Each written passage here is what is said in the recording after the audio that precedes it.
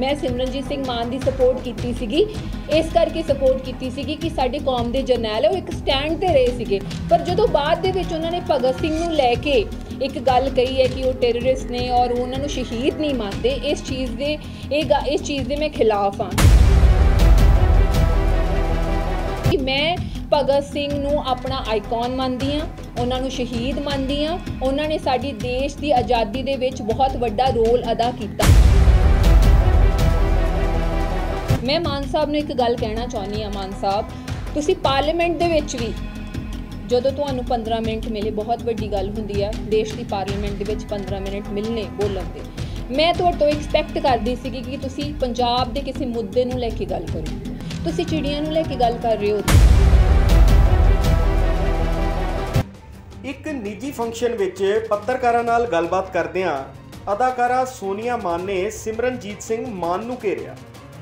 ਉਹਦਾ ਕਿਹਾ ਕਿ ਜਦੋਂ ਸਿਮਰਨਜੀਤ ਸਿੰਘ ਮਾਨ ਨੂੰ ਸਦਨ ਵਿੱਚ ਬੋਲਣ ਦਾ ਸਮਾਂ ਮਿਲਿਆ, ਤਾਂ ਉਹਨਾਂ ਪੰਜਾਬ ਦੇ ਹਿੱਤਾਂ ਦੀ ਗੱਲ ਕਰਨ ਦੀ ਬਜਾਏ ਸਦਨ ਵਿੱਚ ਚਿੜੀਆਂ ਦਾ ਮੁੱਦਾ ਚੁੱਕਿਆ।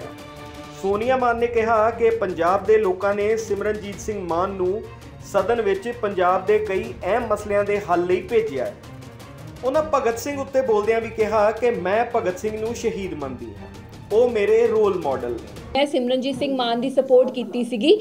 ਇਸ ਕਰਕੇ ਸਪੋਰਟ ਕੀਤੀ ਸੀਗੀ ਕਿ ਸਾਡੇ ਕੌਮ ਦੇ ਜਰਨੈਲ ਹੈ ਉਹ ਇੱਕ ਸਟੈਂਡ ਤੇ ਰਹੇ ਸੀਗੇ। ਪਰ ਜਦੋਂ ਬਾਅਦ ਦੇ ਵਿੱਚ ਉਹਨਾਂ ਨੇ ਭਗਤ ਸਿੰਘ ਨੂੰ ਲੈ ਕੇ ਇੱਕ ਗੱਲ ਕਹੀ ਹੈ ਕਿ ਉਹ ਟੈਰਰਿਸਟ ਨੇ ਔਰ ਉਹਨਾਂ ਨੂੰ ਸ਼ਹੀਦ ਨਹੀਂ ਮੰਨਦੇ, ਇਸ ਚੀਜ਼ ਦੇ, ਇਹ ਗ- ਇਸ ਚੀਜ਼ ਦੇ ਮੈਂ ਖਿਲਾਫ ਹਾਂ। ਕਿਉਂਕਿ ਮੈਂ ਭਗਤ ਸਿੰਘ ਨੂੰ ਆਪਣਾ ਆਈਕਨ ਮੰਨਦੀ ਹਾਂ।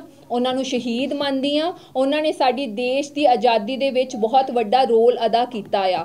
ਤੇ ਅਸੀਂ ਸਾਡਾ ਜਿੰਨਾ ਵੀ ਯੂਥ ਹੈ, ਉਹ ਭਗਤ ਸਿੰਘ ਨੂੰ ਇੱਕ ਯੂਥ ਆਈਕਨ ਦੀ ਤਰ੍ਹਾਂ ਮੰਨਦਾ ਹੈ। ਸੋ ਮਾਨ ਸਾਹਿਬ ਦੀ ਇਸ ਗੱਲ ਦੇ ਨਾਲ ਮੈਂ ਸਹਿਮਤ ਨਹੀਂ ਆ ਇਸ ਕਰਕੇ ਮੈਂ ਮੈਂ ਉਹਨਾਂ ਦੀ ਵੀ ਪਾਰਟੀ ਨਹੀਂ ਜੁਆਇਨ ਕੀਤੀ ਸੀਗੀ। ਮੈਂ ਚੰਗੇ ਲੋਕਾਂ ਦੀ ਸਪੋਰਟ ਜ਼ਰੂਰ ਕੀਤੀ ਸੀਗੀ। ਉਸ ਟਾਈਮ ਤੇ ਮੈਂ ਮੀਤ ਦੀ ਸਪੋਰਟ ਕੀਤੀ ਸੀਗੀ ਔਰ ਅਨਮੋਲ ਦੀ ਕੀਤੀ ਸੀਗੀ। ਮੈਂ ਪਾਇਆ ਵੀ ਸੀਗਾ ਬਕਾਇਦਾ ਤੌਰ ਤੇ ਆਪਣੇ ਫੇਸਬੁੱਕ ਤੇ।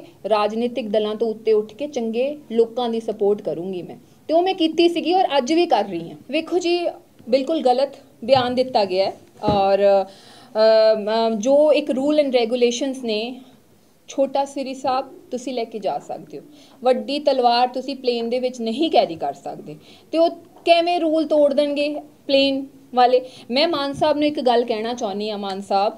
ਤੁਸੀਂ ਪਾਰਲੀਮੈਂਟ ਦੇ ਵਿੱਚ ਵੀ ਜਦੋਂ ਤੁਹਾਨੂੰ 15 ਮਿੰਟ ਮਿਲੇ, ਬਹੁਤ ਵੱਡੀ ਗੱਲ ਹੁੰਦੀ ਆ, ਦੇਸ਼ ਦੀ ਪਾਰਲੀਮੈਂਟ ਦੇ ਵਿੱਚ 15 ਮਿੰਟ ਮਿਲਨੇ ਬੋਲਣ ਦੇ। ਮੈਂ ਤੁਹਾਡੇ ਤੋਂ ਐਕਸਪੈਕਟ ਕਰਦੀ ਸੀਗੀ ਕਿ ਤੁਸੀਂ ਪੰਜਾਬ ਦੇ ਕਿਸੇ ਮੁੱਦੇ ਨੂੰ ਲੈ ਕੇ ਗੱਲ ਕਰੋ, ਜਿਹੜੇ ਕਿ ਸਾਡੇ ਪੰਜਾਬ ਦੇ ਬਹੁਤ ਸਾਰੇ ਮੁੱਦੇ ਆ। ਤੁਸੀਂ ਚਿੜੀਆਂ ਨੂੰ ਲੈ ਕੇ ਗੱਲ ਕਰ ਰਹੇ ਹੋ ਉੱਥੇ। ਉਹ ਮੈਂ ਤੁਹਾਡੇ ਤੋਂ ਐਕਸਪੈਕਟ ਨਹੀਂ ਕਰਦੀ। ਤੁਹਾਡੀ ਇੰਟੈਲੀਜੈਂਸ ਤੋਂ ਐਕਸਪੈਕਟ ਨਹੀਂ ਕਰਦੀ ਕਿਉਂਕਿ ਤੁਸੀਂ ਇੱਕ ਆਫੀਸਰ ਰਹਿ ਚੁੱਕੇ ਹੋ।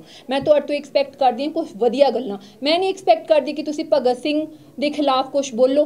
ਭਗਤ ਸਿੰਘ ਦਾ ਵੈਰ ਛੱਡ ਕੇ ਤੁਸੀਂ ਪੰਜਾਬ ਦੇ ਮੁੱਦਿਆਂ ਦੇ ਉੱਤੇ ਗੱਲ ਕਰੋ, ਪੰਜਾਬ ਦੇ ਪਾਣੀ ਤੇ ਗੱਲ ਕਰੋ ਐਮਐਸਪੀ ਤੇ ਗੱਲ ਕਰੋ। ਇੱਥੇ ਕਿੰਨੇ ਸਾਰੇ ਮੁੱਦੇ ਨੇ ਜਿਹੜੇ ਸੌਰਟ ਆਊਟ ਹੋਣ ਵਾਲੇ ਨੇ। ਸੰਗਰੂਰ ਦੀ ਜਨਤਾ ਨੇ ਉਹਨਾਂ ਨੂੰ ਜਿਤਾ ਕੇ ਭੇਜਿਆ ਤਾਂ ਕਿ ਉਹ ਸੰਗਰੂਰ ਕੀ ਪੂਰੇ ਪੰਜਾਬ ਦੇ ਮੁੱਦਿਆਂ ਨੂੰ ਲੈ ਕੇ ਗੱਲ ਕਰਨ Subscribe to One India channel and never miss an update.